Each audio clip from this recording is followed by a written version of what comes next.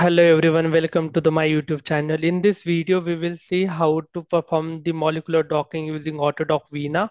So before starting in this first video, we will going to cover uh, the first part, you know, of, uh, to perform the molecular docking Veena, that is the protein preparation.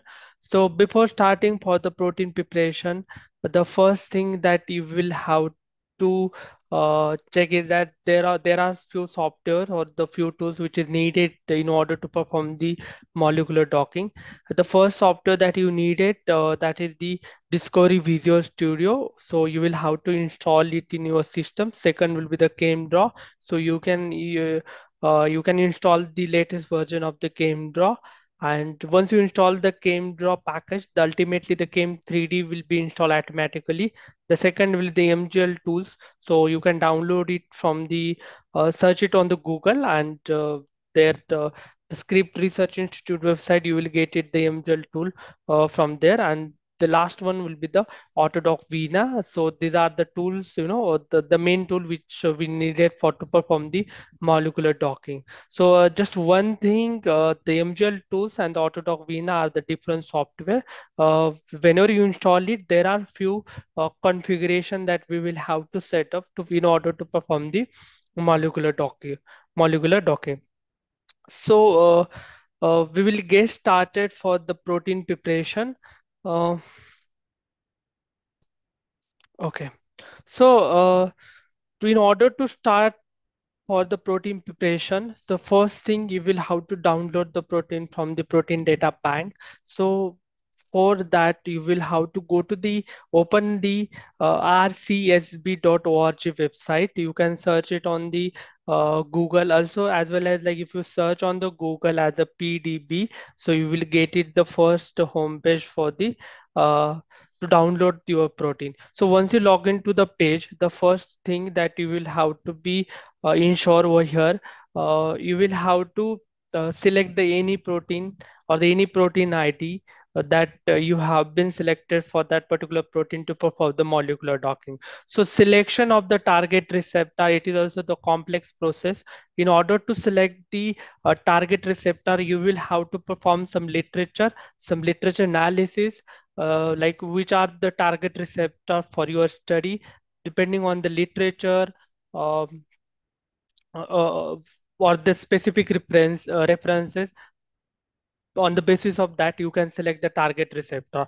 Once you select the target receptor depending on the literature if you have the pdb id of that particular compound so you can like uh, uh, you can paste that particular pdb id uh, over here. The pdb id is always the four uh, letters. The so you will have to uh, type the pdb id over here. So let me give you the one example. So if you see when I paste the PDB ID over here, so you will have to select that one and ultimately uh, the page will direct you to that particular protein. So this is the one reference protein that I, I, I have been selected for as a reference to perform the molecular docking. So uh, once you have been selected your protein, the first thing you will have to download that particular protein in PDB format. So if you see, uh, we have the different, you know, there will be a tab for download the file, click on the download files. After that, select the PDB format. So the plain PDB format that you will have to select in order to download the protein. Okay, so uh, once you have download downloaded that protein, so just open that particular protein in Discovery Visual Studio. So we we are going to prepare our protein using Discovery Visual Studio. So that is the one software that I am going to use over here in order to uh, prepare our protein. Okay, so uh, if you see, I just uh, changed my mouse mode to the rotate. So if you see, uh, this is the protein that I have been deleted. Sorry, I have been uh, uh, downloaded from the protein data bank and uh, I, have, I have opened it from the disc in, in Discovery Visual Studio. Okay, so I have opened the hierarchy over here. So if you see in this particular protein, there are the different outer are present. And if you see this protein, uh, sometimes the protein might be, you know, associated with uh, uh, some molecule or some already in complex with some molecules. So, so at that time you you may need to uh, you know remove that particular uh, protein. Okay. So first I'm going to delete the outer molecule. So you will have to uh, click on the outer molecule. So if you see all the outer molecule has been highlighted into the yellow color. So there are two ways to remove the outer molecule.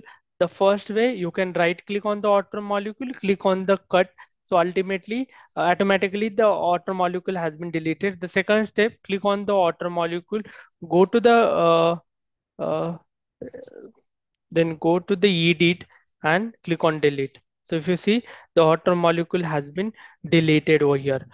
So the very important thing uh, over here is that the Discovery Visual Studio is ultimately suggest you like which is the active site present in this particular uh, protein site. Okay, so uh, depending on that, so you can select like uh, these are the location. If you see the yellow highlighted one amino acid, which is the active site for this particular protein.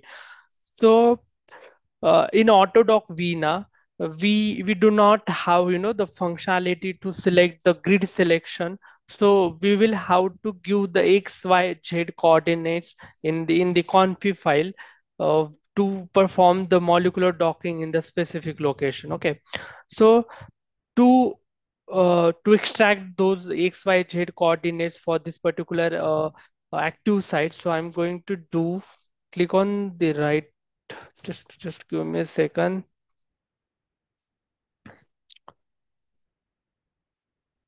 So click on the active site, click on from receptor, okay, click on from current selection.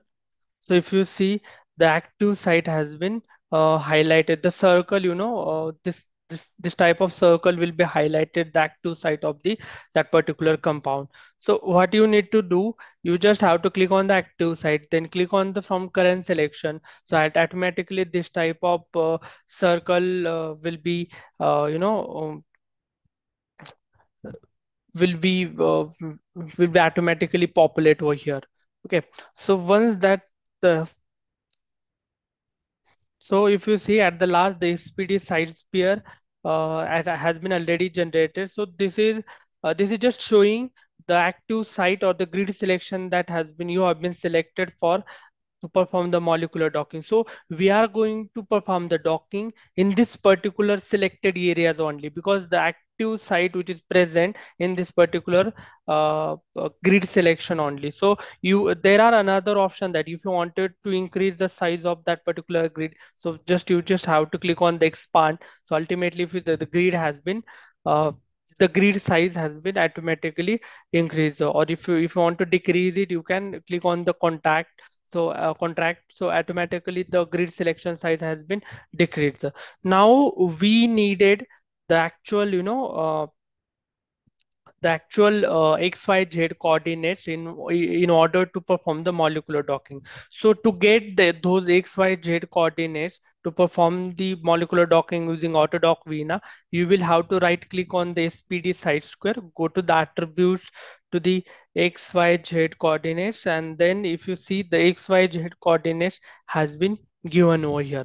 So this these xyz coordinates actually we needed to perform the uh, to get you know to uh, to get it the molecular docking done in this particular active site area or in this particular grid selection area. Okay. So uh, uh, so i'm just i'm just i'm just going to you know copy this particular xyz coordinates into the conf file. So when you have installed the autodoc vina so autodoc vina is ultimately ultimately get installed in uh, in your uh, system and then you will have to uh, you know select one specific location where you are going to actually perform the molecular docking. So if you see i have created one folder that is the name under the c drive that is the docking. And so all the parameter on all the docking that i'm going to perform in the molecular docking folders only. So to perform the molecular docking in the specified folder the first after installing the Autodoc Vina, what I'm going to do, I'm going to the program file. Then if you see the script research institute folder has been created, go to the Vina and these are the three files that you will have to copy and uh, copy that particular file and uh, paste it into the you are the specified location where you actually perform the um, molecular docking. And the next file that we actually needed that is the confi so this is the confi file that I will uh, uh, I will add this particular file into the uh, description of this video. And this is the file that actually needed where actual configuration for to perform the molecular docking that has been given in this file. So the xyz coordinates that we have selected we will have to paste those xyz coordinates in this particular area the xyz coordinates. So i'm just going to add if you click on that the first will be the x coordinates. Then you will have to add those coordinates paste those coordinates over here. Respectively you will have to add those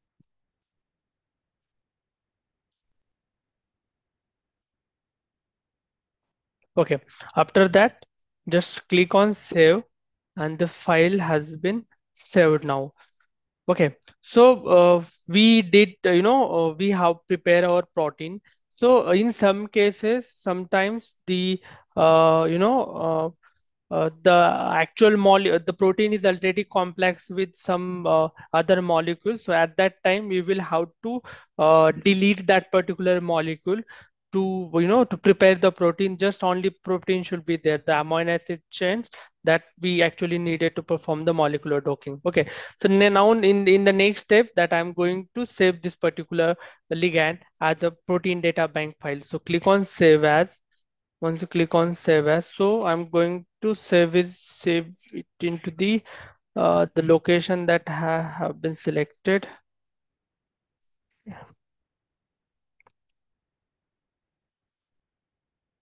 so i'm going to name it as a protein.